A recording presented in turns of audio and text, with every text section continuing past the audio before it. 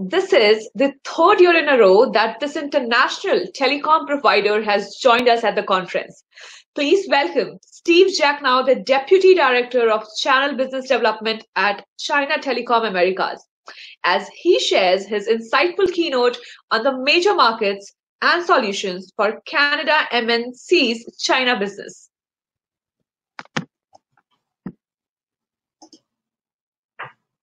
Hello, everybody, and thank you very much for the opportunity to present today. I'm excited to be here at the Canadian Channel Partners Conference and working with the Zio team. A lot of great information over the last couple days, so we'll get we'll get right into it. So what I'm going to be talking about today is the key markets and solutions for Canada's multinational corporations that are doing China business. This will give you some insight into some of the challenges of doing business in China, as well as some of the solutions that are critical to going ahead and making sure that applications work for enterprise customers and others that need to do international connectivity. So let's go ahead and get started. So today's agenda will overview the business activity in China, show the relevance of why it's an important topic, the key market segments for China business. This gives you an idea to the different verticals that exist there that are strong in relation to China business activity. Uh, some of the key factors and regulation, regulations that exist, things that need you need to be aware of to help customers in order to do business in China. Uh, also, really diving into the specific network solutions, the key factors that you have in regards to building those network solutions, and the best practices for those network solutions. So, afterwards, after I'm done, there'll actually be an opportunity to hear from Brandy Tolbert, and she'll be doing an overview of our company itself. So let's take a look at China business whole, as a whole. So first of all, certainly everyone's aware it is a large economy. It is actually the second largest economy in the world to the United States. Uh, the numbers there are from 2019. I just saw some numbers today that were showing that China was one of the few com- uh, countries that actually grew in 2020, 2.3%. They're now about 15.5 trillion US dollars in terms of their gross national product. They're also the largest exporter and second largest importer of goods. And of course, we all know about some of the, the capabilities they have in relation to uh, exporting, and they do have high demand for imports. Major sectors are that uh, certainly um, that we have experienced are manufacturing, retail, uh, energy, uh, the banking area and financial services, additional areas like electronics and computer software and internet, um, health and health related. Biotech is very big now also. So in 2018, the growth mainly came from consumption. So what does that mean to us? Well, there are certainly a high demand for goods and services, and that would mean that a lot of companies are trying to leverage China as a business market. Part of that growth has come from the middle class. Middle class has expendable income. They're the ones buying these parts, services, and being able to drive some of the economic growth and activity. Why is China a market that has seen growth? Well, there's quite a bit of high productivity. The labor costs are indeed low. And overall, the relatively good infrastructure makes it so that they can be a leader in things like manufacturing for the world. It is the world's largest e-commerce market. Um, you can see that in 2018 they had 40 trillion yuan, which is a sizable number, uh, something like eight and a half um, trillion US dollars. And mobile payments is, is something that they started on quite a lot before many other areas of the world. And even now, there are organizations that are getting into mobile payment that they're bringing in from outside of China to enable that continued growth. So let's discuss a little bit about the key market segments for China business in more detail. First of all, financial services. You may know that China has some of the largest stock exchanges in the world uh, in Shanghai, Hong Kong, and Shenzhen are the big financial markets. And that drives a lot of business activity relative to financial services. They also do a major amount of manufacturing. They lead the world in output with over 2.101 trillion in, in output for manufacturing. You may not realize quite as much that retail is that big in China, but due to that large spending increase of the Chinese consumer and the middle class with their expendable income, they've seen a dramatic growth in retail sales. And they grow 9% on average annually in the past five years. The brands that are available there are both foreign and domestic. The Western brands actually have quite a bit of popularity. So consumers are trying to make sure they can get access to that in an effective way. But there's a lot of cross border type of consumer activity. And also, at least in pre pandemic times, there was a lot of individual store sales. In the energy markets, they're quickly moving to renewable sources and generation of those renewable sources. However, they still use an extensive amount of coal and they import coal. Uh, they're also moving quite quickly into things like electronic vehicles, electric vehicles, and building their own brands as well as welcoming brands like Tesla. I mentioned biotech, but healthcare itself is it is the second largest healthcare market, and it's the fastest growing market among the top five globally.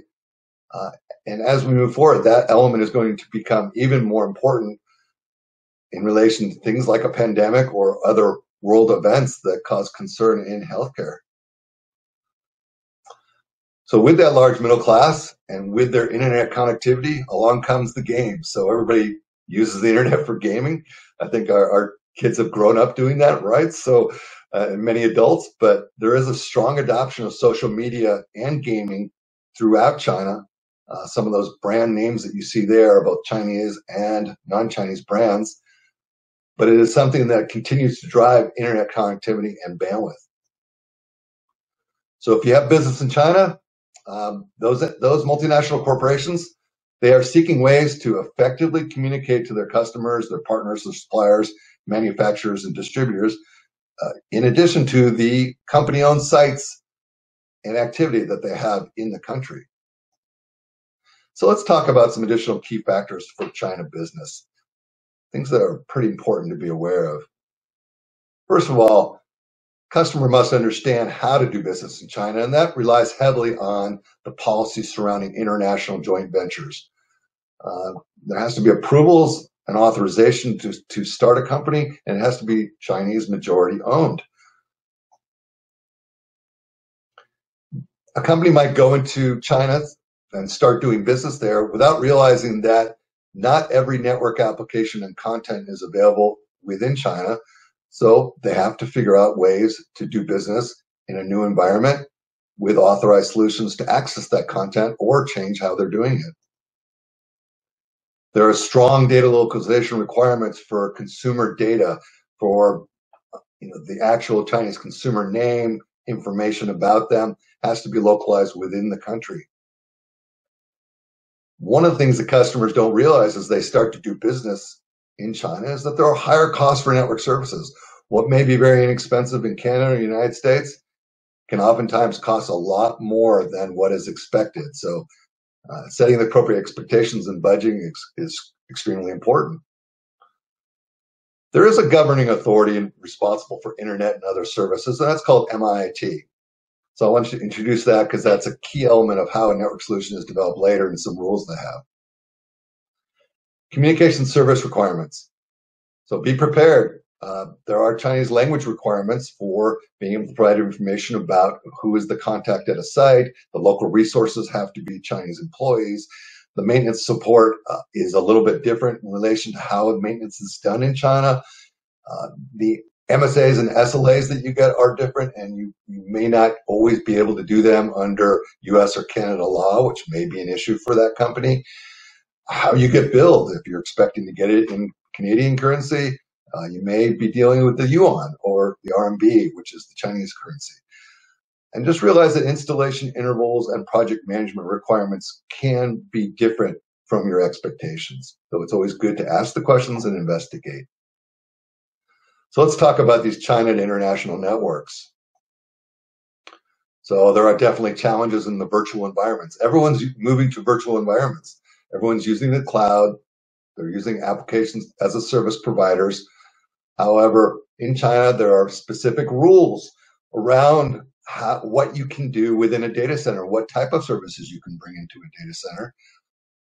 There are cloud regions in China that are entirely separate from other regions in the world. So if you're set up at AWS in a domain outside of China, expect to use it effectively um, and be able to connect the domain you set up in China. It's very critical that you understand that that's not going to be something that is easily done without some additional activity to make sure that you have an authorized solution. And I mentioned some of the privacy laws that are in, in play in China. Uh, the biggest thing I see as a factor is don't make expectations that aren't appropriate. Uh, doing business outside of China is not the same as doing doing business in China.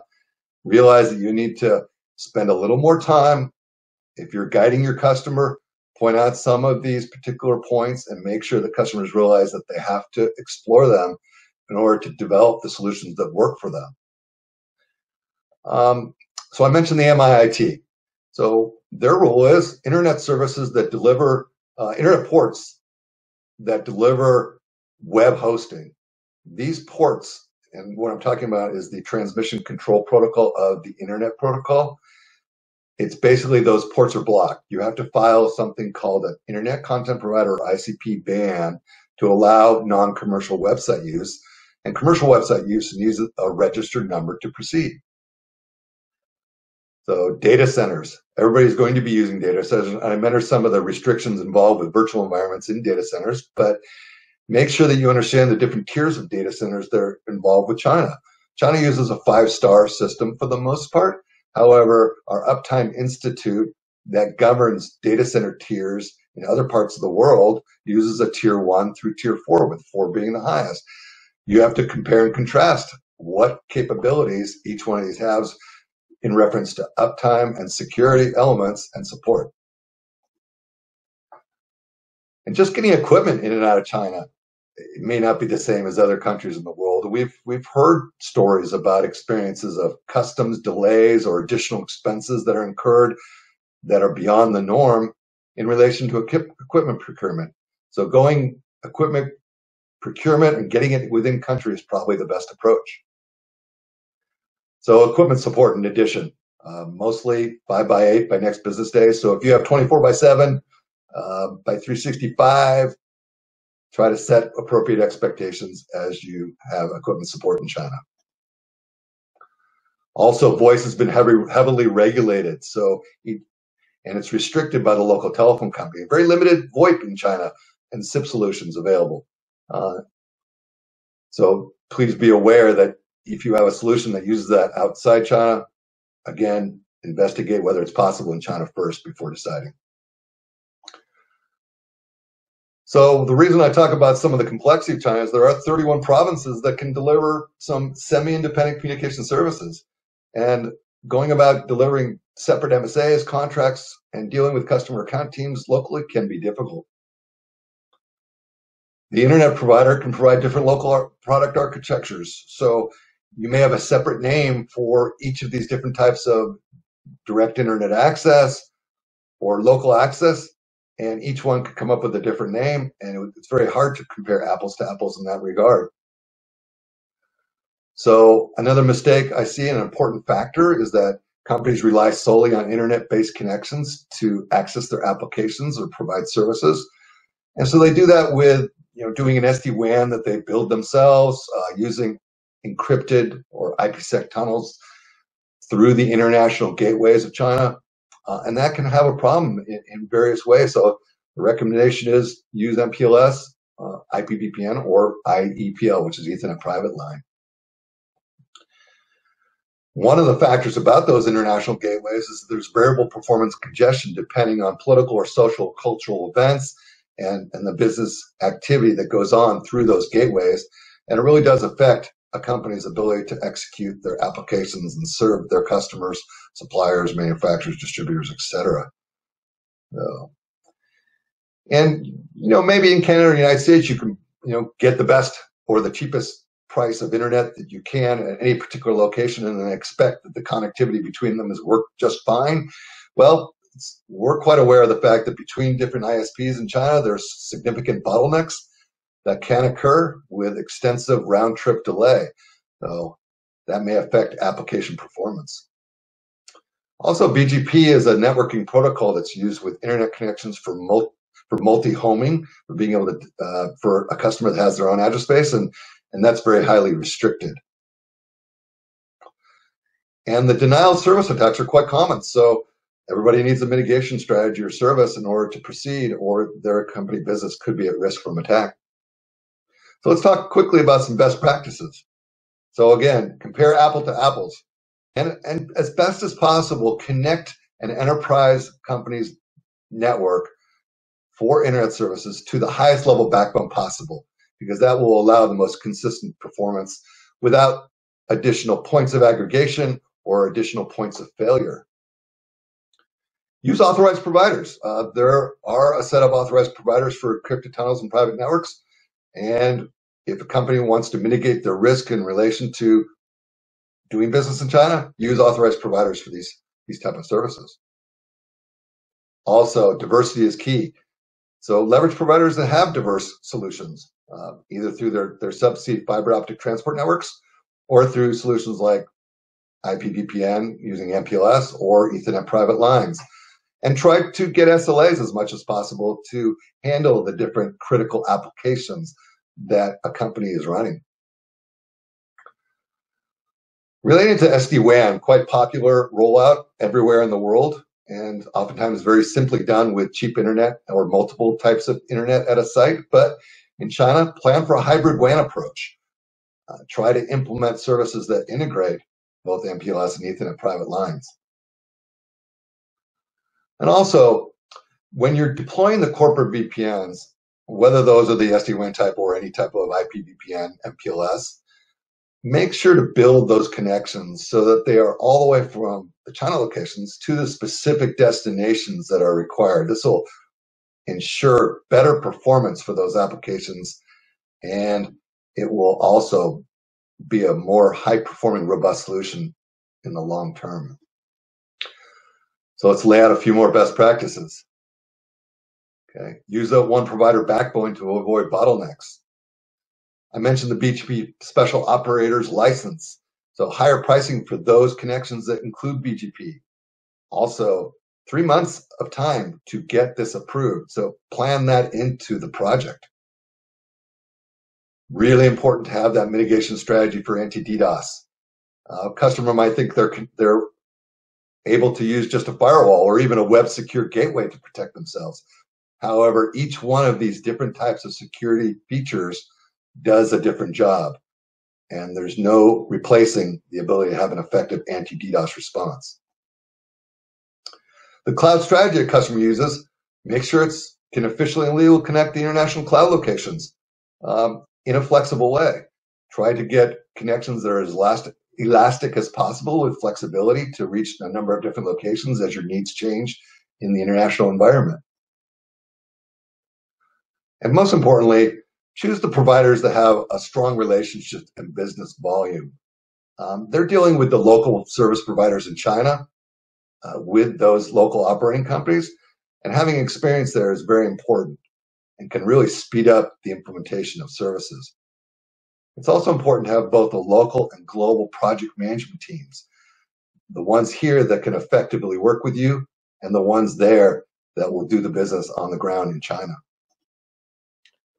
So I think hopefully I've given you a little insight in doing business in China, being able to deliver international connectivity solutions, and some of the key problems that we've seen customers come across. So at this point, I'd just like to offer up additional guidance that I can provide you. I am Steve Jacknow at ctamericas.com. So feel free to reach out to me or you can reach me via our channel, which is channelteam at ctamericas.com. And at this point, I will turn it over for Brandy Tolbert, who is our channel business development manager, to do a, a summary of our corporation, China Telecom Americas. Thank you very much today.